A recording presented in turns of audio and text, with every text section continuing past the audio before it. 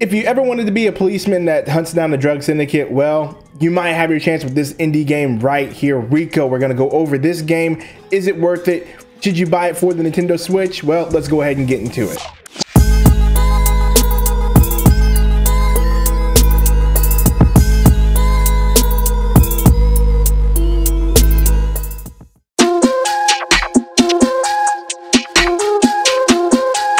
So as I mentioned, the story to Rico is pretty simple. You are a policeman and you are part of a police department, a special division chasing down the drug syndicate, and you have 24 hours to do so.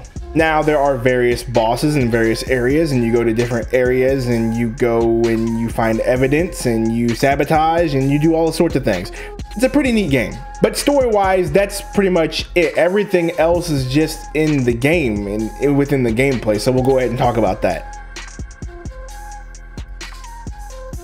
So the gameplay is pretty simple. You run, you walk around, you shoot, you slide, you shoot. It, it's it's pretty simple. It's a fairly simple first-person shooter game. You go on various missions within one lifespan. You only get one life to do this, and that's why they say it takes 24 hours. You get one life to do this. As you go through each mission, you get merit, which allows you to purchase more guns or more health or more gadgets to, to help you out throughout the mission you get certain tasks within each mission and if you complete those tasks the more merits you get and you kind of get the gist there.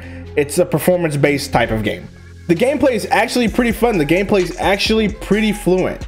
I really did enjoy the gunplay. I did enjoy a lot of the other mechanics of the game. The game is a very very solid game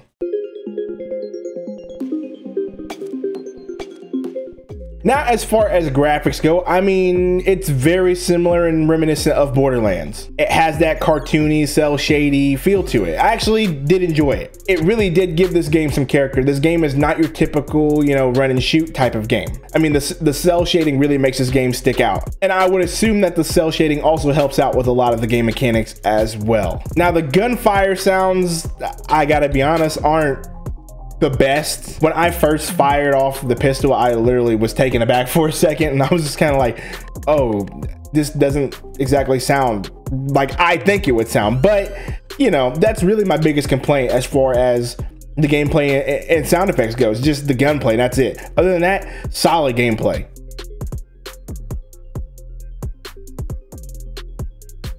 Now, as you guys know, I'm always big into music. I'm always big into the music. The music is what sort of attracts me to a game. And the music in this game in the beginning, it's got a very New York hip hop feel. Now, in the game, there's not much music playing, if, if any at all, but in the menus and the pregame and all that stuff, the music is very solid. Like I said, New York hip hop. I'm a big sucker for New York hip hop. So as soon as I saw the trailer for this game, that was part of the reason I was attracted to this game. So I have to give the music a good solid. I thoroughly do enjoy the music in the soundtrack.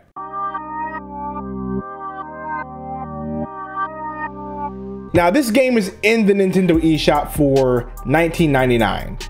Would I suggest that you pick this game up and play it? Well, it really just depends on what you're into. I hate to be cliche in that way, but really it does. If I had to be honest with y'all, this is probably not a game that I would have played if not I had gotten a code for it because I have plenty of other games to play in my backlog. This game does have many ways to play. You can play with your friends, you can do daily missions to get more points. There are plenty of ways to play this game that do add some replayability to it. So if you're into this kind of game, if you're into a shoot 'em up, if you like the cel shading, go ahead and, and, and pick it up. But for me personally, I wouldn't have. And I just gotta be honest with y'all. But I can suggest this game if you're into the genre, if you do like the artwork, the game is solid 100%.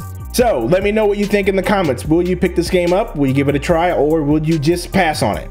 Let me know. This has been Nicktendo Direct. Don't forget to hit that like button and subscribe for more Nintendo Indie reviews. Thank you guys for stopping by. I'll catch you guys later.